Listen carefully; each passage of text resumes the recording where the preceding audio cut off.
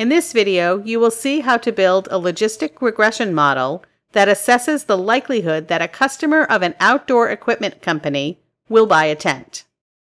For this video, there's already a Watson Studio project with the Watson Machine Learning, Apache Spark, and Object Storage services associated.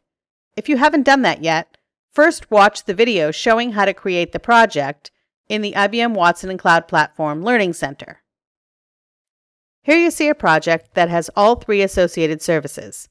For this video, you'll use a dataset called Go Sales Transactions for Logistic Regression Model, which you'll find in the IBM Watson community.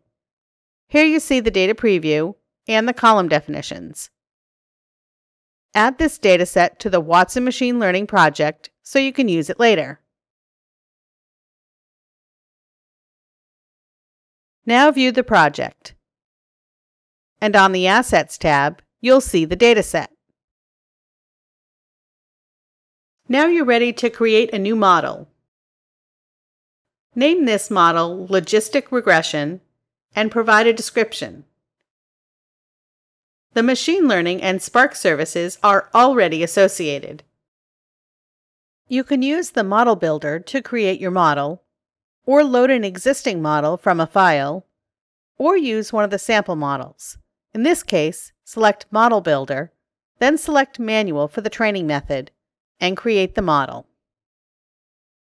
After you load the data, you must train the data. This consists of choosing an appropriate technique and estimator to apply to the raw data. For this data set, you'll use the isTent label column and the logistic regression estimator type. To begin training, select the dataset and click Next.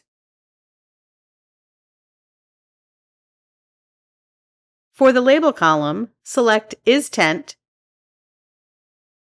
and keep the default feature columns. For the technique, select Binary Classification. Next, add an estimator using Logistic Regression. Click Next and watch the progress as it trains the data. After the training is complete, save it. After you train and save the model, you're ready to deploy it.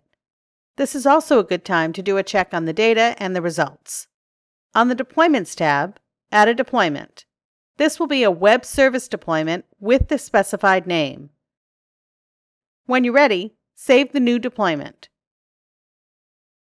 When the model deployment is complete, view the deployment.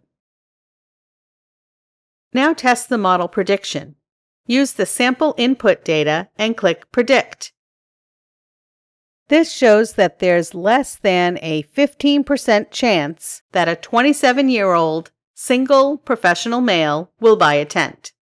Change the input data to test different predictions.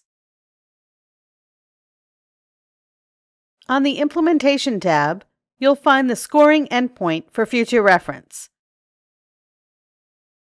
You'll also find code snippets for various programming languages to utilize this deployment from your application. You can also view the API specification from here. And of course, this new model is available on the Assets tab in the project.